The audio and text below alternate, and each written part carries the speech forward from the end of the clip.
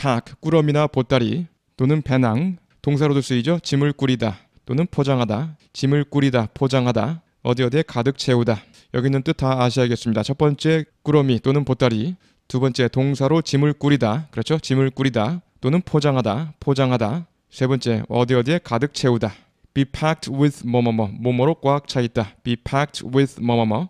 뭐뭐로 꽉 차 있다. Be packed with passengers 승객으로 꽉 차 있다 be packed with passengers the restaurant was packed 그 식당에는 사람들이 꽉 들어차 있었다 the restaurant was packed pack books in boxes 상자에 책을 챙겨 넣다 pack books pack books in boxes fans packed the hall 팬들이 홀을 가득 메웠다 fans packed the hall we all packed into one car 우리는 모두 승용차 한 대에 빽빽히 탔습니다 we all packed into one car. We all packed into one car